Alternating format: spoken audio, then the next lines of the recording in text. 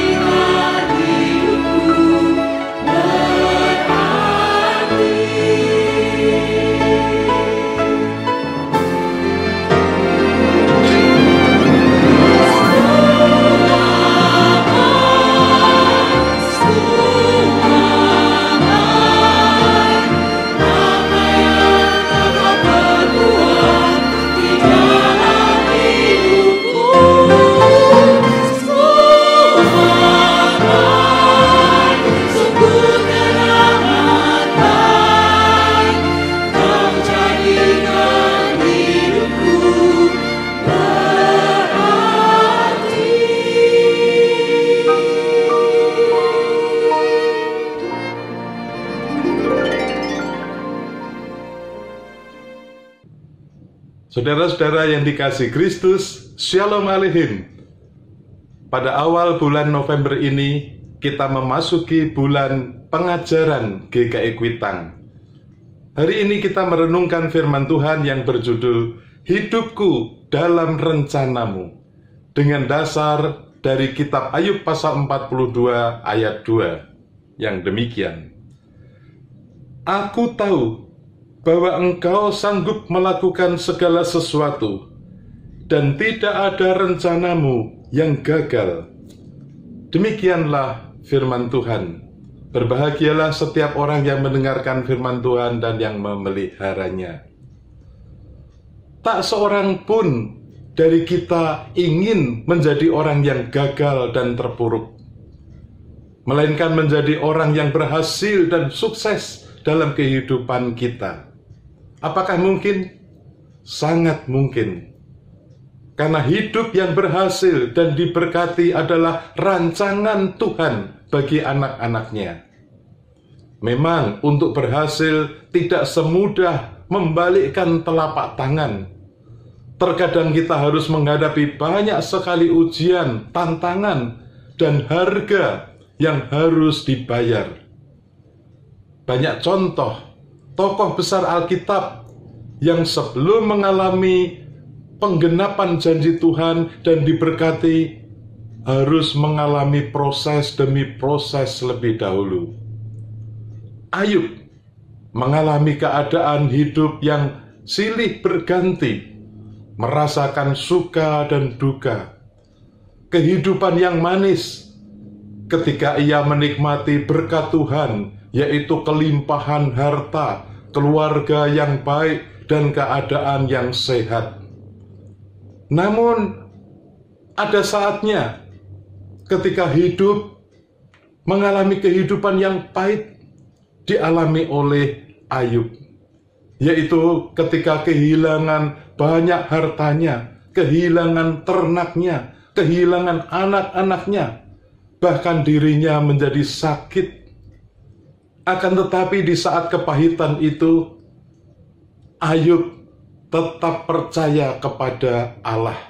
Dan ia meyakini bahwa tidak ada satu rencana Allah yang gagal. Ayub pun melewati kepahitan itu bersama dengan Tuhan.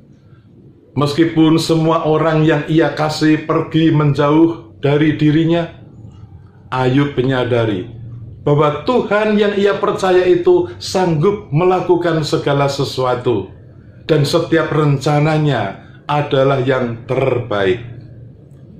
Akhirnya Ayub dapat berkata, "Aku tahu bahwa engkau sanggup melakukan segala sesuatu dan tidak ada rencanamu yang gagal. Puji Tuhan.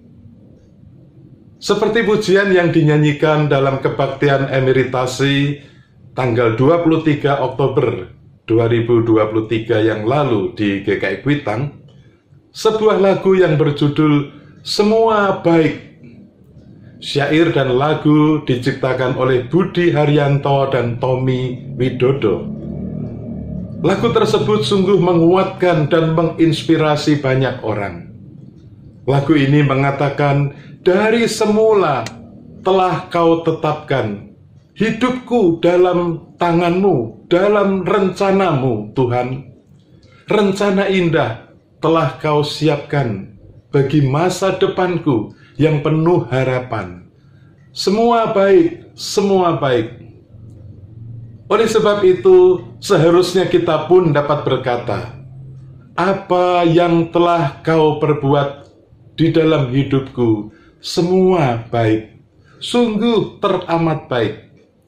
Kau jadikan hidupku berarti." Puji Tuhan. Saudara-saudara yang terkasih, hidup yang kita jalani ada dalam rencana Tuhan, baik itu manis maupun pahit. Terkadang kita harus mengalami berbagai persoalan, membuat kita tidak selalu bahagia, tetapi kita percaya hidupku dalam tanganmu, dalam rencanamu, Tuhan. Rencana indah telah kau siapkan bagi masa depanku yang penuh harapan. Saudara-saudara, yakinlah kegagalan bukan akhir segalanya. Meskipun terkadang Tuhan izinkan kegagalan itu terjadi, supaya kita introspeksi diri, belajar tidak sombong, dan belajar bergantung sepenuhnya kepada Tuhan. Bersediakah saudara belajar seperti Ayub, tetap bersyukur kepada Tuhan, tetaplah mengucap syukur seperti Ayub, karena melalui kegagalan tetap ada rencana Tuhan yang baik. Amin, saudara. Lakukanlah saja, itu sudah cukup. Amin. Mari kita berdoa. Ya Bapa yang di surga, kami bersyukur dan memuji kebesaran namamu, karena Engkau sanggup melakukan segala sesuatu dan rencanamu tidak pernah gagal. Biarlah setiap anak-anakmu dapat berkata, hidupku dalam rencanamu. Dalam nama Tuhan Yesus Kristus kami berdoa. Amin. Tuhan memberkati saudara dan keluarga.